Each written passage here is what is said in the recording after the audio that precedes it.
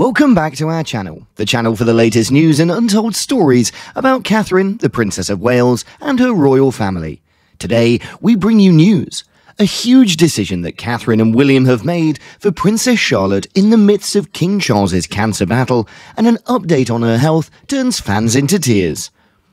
Reports suggest that the Prince and Princess of Wales will be returning to Windsor with their children after the Easter holidays when their children have a clear understanding of the situation with King Charles and her mother's health. Everything appears to be in order. However, an atmosphere of turmoil continues to linger in the royal household, causing many problems along the way. For example, the health of King Charles and Princess Catherine's fight against cancer put a lot of strain on Prince William, who's about to become king. The weight of King Charles's influence installed upon Prince William and Princess Catherine of Wales throughout the serious conversation concerning the future of the monarchy. Prince William and Princess Catherine ought to be geared up for the enormous obligations that will be required of them in order to perpetuate the monarchy in the years to come.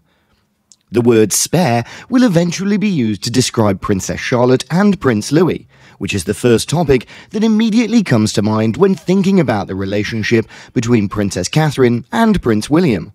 Princess Catherine and Prince William have no desire to face in such negative fact.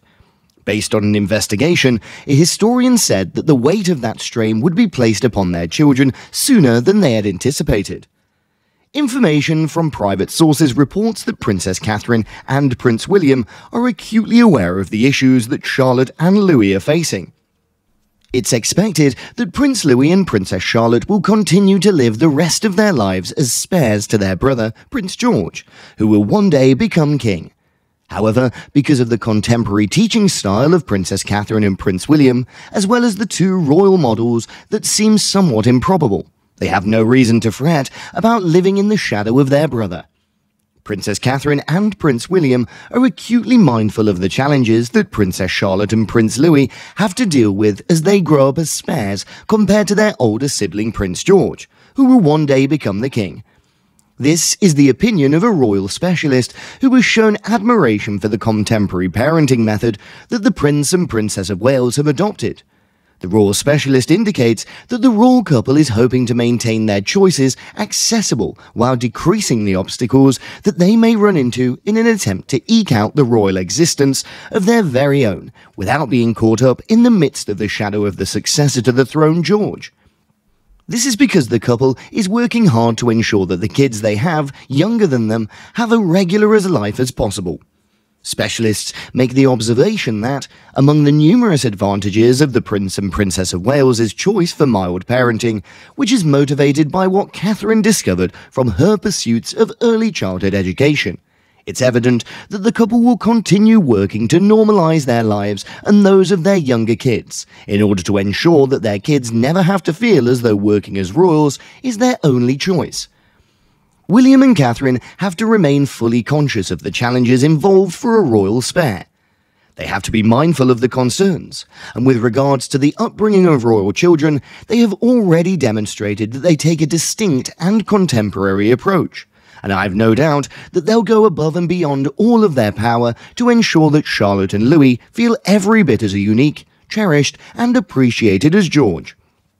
I have a feeling that they'll push Louis to investigate life outside of the royal fold. It might be serving in the armed forces, but it might additionally involve working in the field of charity or any other opportunity he finds intriguing when he's completed his schooling. They're certain to urge him to attend university, which they both liked, and where, of course, they discovered love. I have no doubt that they will do this. Despite the expectation of a high profile role, a royal expert asserts that Princess Charlotte will serve as a backup to her uncle, Prince Harry. George, Prince of Wales, and Charlotte, Princess of Wales, and Prince William and Princess Catherine's children, serving as the spare and heir to the crown, respectively. Prince Harry's book title is Spare, which is the term for the heir's support. After George gets married and has a family, Charlotte will remain a spare, according to a report. As she continued, another considers that Charlotte is going to be a senior royal assisting the king because of the upcoming reduction in the size of the royal household. Princess Charlotte, a member of the royal family, is likely to perform royal duties. especially said that people like contrasting Princess Anne with Princess Charlotte because they're both female and the heir's younger sister. Their formal functions, however, are quite different.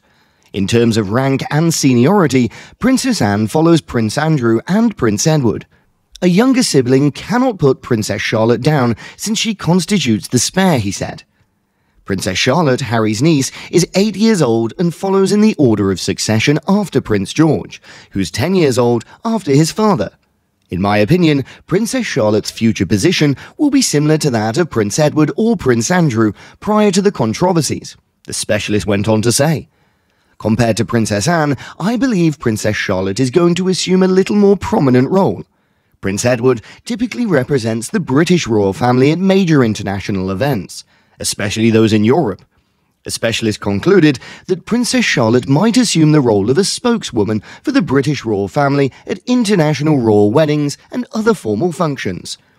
The younger member of the family has always had it tough as the spare is thrown into the world of plenty and focus without a clear path to fit in or something to strive for. Whereas Prince William backs it. Since the release of his explosive biography, Spare, the term has become synonymous with Harry, even though it was previously associated with people like King George VI. It can be challenging to assume the role of the spare royal, as it necessitates royals to re-evaluate their identity as those not directly linked to the crown. According to a report, a surprising couple can teach the young royals, Charlotte and Louis, how to act as spares, Royal experts made the case that Prince Edward and Sophie, as Duke and Duchess of Edinburgh, are exemplary role models for the younger royals due to their achievements within the family of the royals. Once again, proving their worth on the 8th of April, the Duke and Duchess of Cambridge performed a historic event on behalf of King Charles, solidifying their position as one of the most valuable members of the royal family. Edward and Sophie's individual popularity and reputation inside royal groups have dramatically increased in the 13 months since they were appointed as holders of their newly acquired titles. As the king concentrates on his recovery, they frequently receive invitations to participate in important events on his behalf. By way of the Duke of Edinburgh Awards scheme, Prince Edward actively supports artistic endeavours and carries on his father's legacy. A passionate advocate for equality between men and women, Sophie has sparked conversations about ending female genital mutilation and finding ways to stop preventable cases of blindness. Thank you for watching today's video. Please let us know your thoughts, and goodbye for the time being.